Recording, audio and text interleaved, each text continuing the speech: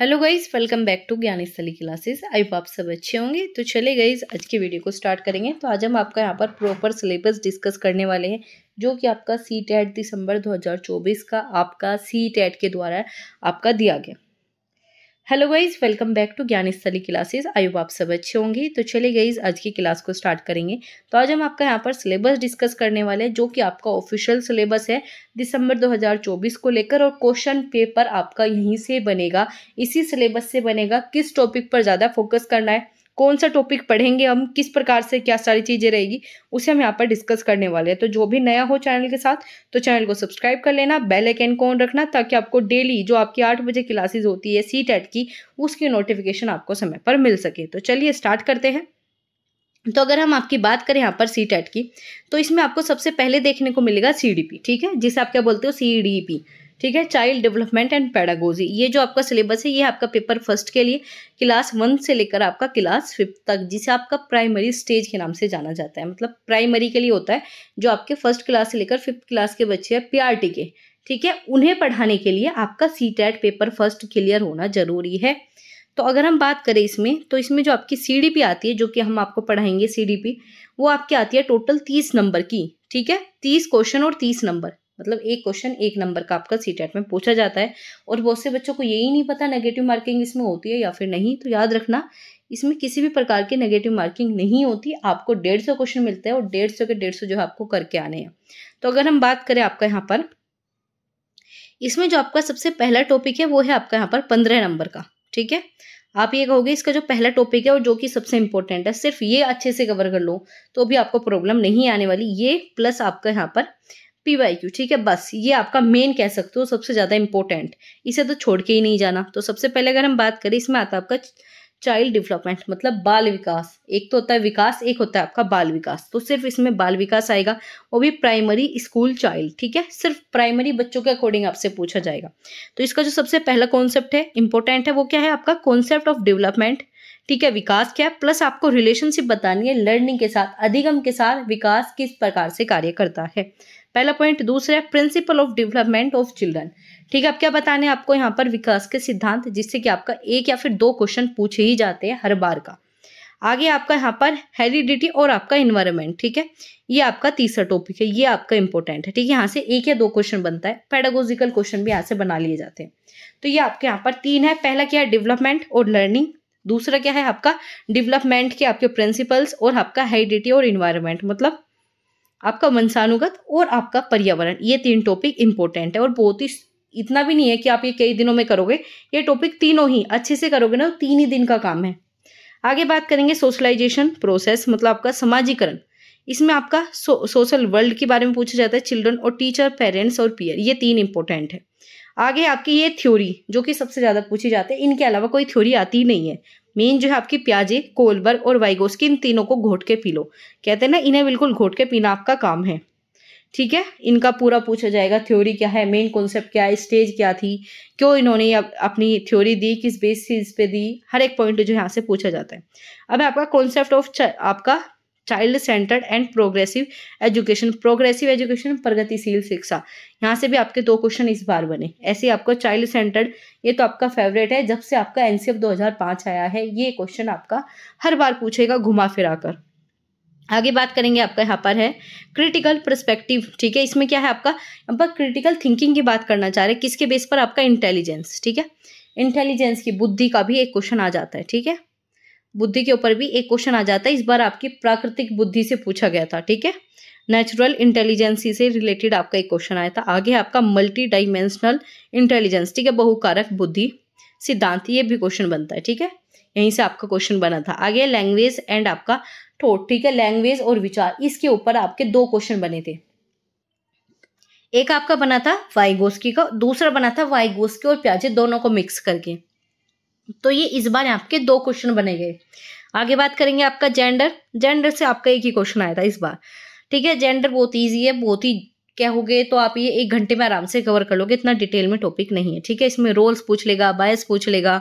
ठीक है एजुकेशनल में जो है इसका मेन पर्पज़ क्या ये चीज़ें पूछी जाती है। आगे आपका अगेन इम्पोर्टेंट वो है आपका यहाँ पर इंडिविजुअल डिफरेंसेस इंडिविजुअल डिफरेंसेस से क्वेश्चन बनते हैं, हर बार बनेंगे और जब तक आपका ये चीज़ें चलेगी, तब तक इंडिविजुअल डिफरेंसेस से आना ही है। क्योंकि क्या है, सब में विभिन्नताएँ हैं। ये ना सिर्फ़ आपका इस पैडागोजी में, जो आपकी बाकी सब्जेक्ट की पैडागोजी आती है, वहाँ से भी ये क्वेश्चन बनता है। इसमें यही पूछा जाता है अंडरस्टैंडिंग पूछ लेंगे, जो आपके अलग अलग बच्चे होते हैं डाइवर्सिटी होती है, ठीक है कास्ट जेंडर इन सबके रोल को देखकर टीचर एज ए टीचर आप किस प्रकार से पढ़ाओगे।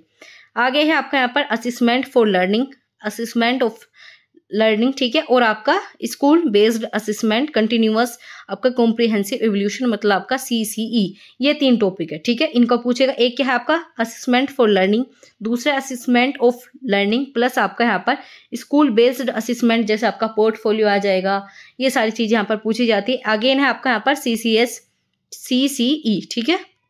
कंटिन्यूस कॉम्प्रिहेंसिव एवोल्यूशन ये आपकी फुल फॉर्म भी पूछी जाती है। ये ये यहाँ पर चार टॉपिक है, इन चारों को याद करना है, ठीक है? एक और आपका यहाँ से पूछ लिया जाता है assessment as learning as learning से भी क्वेश्चन बन जाता है।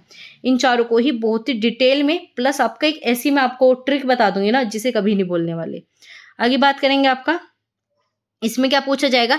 इसमें आपका पूछा जाएगा आपको क्रिटिकल थिंकिंग प्लस आपका इनहेंसिंग लर्निंग प्लस आपका यहाँ पर है असिसमेंट असेसिंग लर्निंग अचीवमेंट तो ये आपका पेडागोजी के टाइप का आ गया। ठीक है, इसमें क्रिटिकल थिंकिंग की बात की जाएगी, कैसे बच्चा जो है खुद के अचीवमेंट को एसिस करेगा इनहेंस करना है लर्निंग को, किस प्रकार के क्वेश्चन आप फॉर्मुलेट करोगे, ये सारी चीज़ें इसमें पूछी जाती है। ठीक है? चलिए, ये आपका इंपॉर्टेंट नहीं है क्योंकि आपका पेडागोजी में हो जाएगा। ठीक है इंपॉर्टेंट है लेकिन ये आपका यहाँ पर पेडागोजी में हो जाता है। जब क्वेश्चन की प्रैक्टिस करोगे ना, ये आपको ऑटोमेटिक हो जाएगी, आपको पढ़ने की आवश्यकता नहीं है। ये आपका यहाँ से एक दो क्वेश्चन और जो मैंने आपको ऊपर बताए वो इम्पोर्टेंट है, अपना नोट डाउन कर लो पीडीएफ मैं आपको टेलीग्राम चैनल पर दे दूँगी, वहाँ से देख लेना। अब बात करेंगे आपका यहाँ पर कॉन्सेप्ट ऑफ़ इंक्लूसिव एजुकेशन ठीक है? और इसे अंडरस्टैंडिंग करने के लिए जो स्पेशल नीड्स होती है, ठीक है? इसके लिए आपके पाँच क्वेश्चन ठीक है? पाँच नंबर ठीक है? तो इसे टोटल मिलाकर जो आपको इतना लंबी कहानी लिखी हुई है, ये छोड़ो। बस याद रखना इंक्लूसिव एजुकेशन पाँच नंबर का है आपके पेपर में। इसमें कुछ भी पूछ लेगा। जो जो आपके यहाँ पर डाइवर्स बैकग्राउंड वाले बच्चे हैं, उन्हें कैसे पढ़ाओगे? उनके डिसएडवांटेज क्या है? उन्हें प्रॉब्लम कहाँ पर होती है? आपको कैसे समस्या को दूर करना है? जो बच्चों की नीड है, उन्हें कैसे देखोगे? लर्निंग डिफिकल्टीज से एक क्वेश्चन बनता है। इम्पेरिमेंट से एक क्वेश्चन बना था इस बार, ठीक है? डिसलैक्सिया पूछ लिया जाता है डिस्ग्राफिया पूछ लिया जाता है, वो आपकी लर्निंग डिसेबिलिटीज यहीं पर आ जाएगी। आगे आपका यहाँ पर टैलेंटेड क्रिएटिविटी स्पेशल। इनसे बहुत क्वेश्चन आते थे, लेकिन आज जो आपका ये जुलाई वाला और जनवरी वाला पेपर हो, उसमें एक दो क्वेश्चन मुश्किल से देखने को मिला ठीक है? अब इससे ज़्यादा क्वेश्चन नहीं आते, लेकिन इसे छोड़ना नहीं है। सिलेबस में दे रखा है बहुत ही छोटा सिलेबस है। इतना भी मत सोचना, बहुत बड़ा सिलेबस है, बहुत छोटा है, ठीक है? दो मंथ है, दो मंथ से ज़्यादा है, आराम से आपका हो जाएगा। आगे बात करेंगे आपके यहाँ पर लर्निंग एंड आपका यहाँ पर पैडागोजी ठीक है? अभी आपका पूरा पैडागोजी है। ये है आपका दस नंबर की पैडागोजी ठीक है? और आपका यहाँ पर पंद्रह नंबर का जो है आपको इसमें देखने को मिलेगा कॉन्सेप्ट ठीक है? बाकी एक दो क्वेश्चन और पैडागोजी के इसमें ऐड हो जाते हैं। तो अगर हम बात करें इसमें इसमें सबसे पहले यही पूछेंगे कि बच्चे किस प्रकार से थिंक करते हैं लर्न करते हैं, किस प्रकार से सोचते हैं। और अगर बच्चे फेल हो जाते हैं तो इसमें जो गलती है, वो स्कूल की है। स्कूल ने अच्छे से जो है नहीं पढ़ाया। और यही आपको मान के चलना है कि बच्चे भगवान है और सारी गलती स्कूल की टीचर की होती है। अगर बच्चा फेल हो रहा है ये अपने दिमाग में जितनी जल्दी बिठा लोगे, उतनी जल्दी सी टेट पास हो जाएगा। आगे इन्होंने क्या बताया कि हमें बेसिक प्रोसेस जानना है टीचिंग का लर्निंग का, ठीक है? और जो चिल्ड्रन की, जो आपकी लर्निंग के प्रोसेस में स्ट्रेटजीज होती है, जो उनकी मेन पॉइंट्स होते हैं प्लस आपका यहाँ पर learning as a social activity क्योंकि सोशल के ऊपर बहुत फोकस होता है, ठीक है? यहाँ से क्वेश्चन बनेगी। आगे आपका यही बताया कि बच्चे जो है, एक प्रॉब्लम सोल्वर है। किसने कहा था? बच्चे जो है खोज करता है। खोज करता वाला पॉइंट बहुत ज़्यादा दिया जाता है। सीधा क्वेश्चन बनता है। ठीक है, ऐसे है आपका यहाँ पर। इसमें पूछ ले जाता है अंडरस्टैंडिंग चिल्ड्रंस एरर के बारे में पूछ ले जाएगा स्टेप ऑफ़ लर्निंग प्रोसेस आ जाएगा। आगे आपका यहाँ पर कोग्नेटिव और इमोशन की बात करते हैं, यहाँ से क्वेश्चन डायरेक्ट बनाता, ठीक है? आगे है आपका यहाँ पर मोटिवेशन और लर्निंग ये क्वेश्चन बन जाता है। और आपका फैक्टर्स पूछे जाते हैं जो आपके लर्निंग पर्सनल और इन्वायरमेंट ये आपका यहाँ पर बन जाएगा जो आप ये पढ़ोगे। ठीक है, जो आप यहाँ पर पढ़ोगे हेरिडिटी और इन्वायरमेंट ये आपका यहाँ पर कवर हो जाएगा। ठीक है? तो ये आपका यहाँ पर कंप्लीट होता है तीस नंबर तीस नंबर सीडीपी के। और ये जो आप पेडागोजी देख ले देख रहे हो ना, ये आपको बाकी सब्जेक्ट में हेल्प करेगी और पास भी कराएगी। याद रखना, ये ना सिर्फ़ हेल्प करेगी, बल्कि पास भी कराएगी। तो सीडीपी सबसे ज़्यादा फोकस में रखनी है, सबसे ज़्यादा इंपॉर्टेंट आपकी सीडीपी है, इसे बहुत अच्छे से कवर करो। साथ ही साथ जो आपके यहाँ पर पीवाईक्यू है, उन्हें ज़रूर करना है, ठीक है? पीवाईक्यू की डेली आठ बजे मैं क्लासेस लेती हूँ। तो आठ बजे आप सभी को जुड़ना है और ये आपका पेपर फ़र्स्ट का कंप्लीट सिलेबस मैंने आपको बताया, ठीक है? अब अगर आपकी बाकी बात करें, बाकी वैसे मेरे सब्जेक्ट नहीं है, लेकिन मैं फिर भी आपको बता देती हूँ। मैथमेटिक्स भी आपका तीस नंबर का आएगा, पंद्रह नंबर के क्वेश्चन आ जाएँगे मैथ के और पंद्रह नंबर की आपकी पैडागोजी आ जाती है, ठीक है? ये आपके पैडागोजी के टॉपिक है यही पढ़ने हैं, इसके अलावा नहीं पढ़ना। आगे आपका यहाँ पर इन्वायरमेंट इन्वायरमेंट में तीस नंबर का आ जाएगा, पंद्रह नंबर के जो है आपके कॉन्सेप्ट बिल्कुल एनसीईआरटी से आएँगे, बिना एनसीईआरटी के जाना ही मत। एनसीईआरटी डायरेक्ट उठाकर दी जाती है, इन्हें एनसीईआरटी से ही पढ़ना है। चलिए, आगे बात करेंगे पेडागोजी आ जाएगी पंद्रह नंबर की, वही जो मैं आपको सी डी पी कराऊँगी, वहाँ से कवर हो जाएगी। आगे आपकी लैंग्वेज लैंग्वेज की क्लासेस मैं आपको डेली कराती हूँ सिलेबस के अकॉर्डिंग ही करा रही हूँ। तो जाकर ज़रूर चेक कर लेना, ठीक है? आपके पैसेज हम डिस्कस कर चुके हैं। आपकी जो पैडागोजी की क्लास है, वो आपकी आज भी हुई है, कल भी हुई है तो बहुत ज़्यादा इंपॉर्टेंट क्लासेज है, देखना। सिर्फ़ ये भी करोगे तो लैंग्वेज में तो कम्बन लैंग्वेज में आपके कम नंबर नहीं आने वाले। ऐसे लैंग्वेज टू है सेम है, ठीक है? तो ये आपका यहाँ पर टोटल डेढ़ सौ नंबर का पेपर हो गया। पेपर फ़र्स्ट की हम बात कर रहे थे, ठीक है? पेपर फ़र्स्ट कल हम बात करेंगे आपकी पेपर टू की। पेपर टू का डिटेल में सिलेबस जानेंगे। ठीक है? ये आज का आपका पेपर फ़र्स्ट था, ये ही सिलेबस पढ़ना है, इसके अलावा कुछ भी नहीं पढ़ना, अगर सी आपको पास करना है। सिलेबस के साथ जाओ, देखो तीन पॉइंट में बता रही हूँ। Syllabus plus P Y Q बहुत ज़्यादा इंपॉर्टेंट है। एक बार को सिलेबस थोड़ा छोड़ दो, लेकिन पी वाई क्यू नहीं छोड़ने। प्लस आपका रिवीजन ठीक है? जो अपने नोट्स बनाओगे, बस ये तीन किसी भी एग्ज़ाम में फॉलो कर लो एग्ज़ाम नहीं रुकने वाला, ठीक है? ये आपकी, कह सकते हो, मूल मंत्र है। ठीक है, इन्हें फॉलो ज़रूर करना है।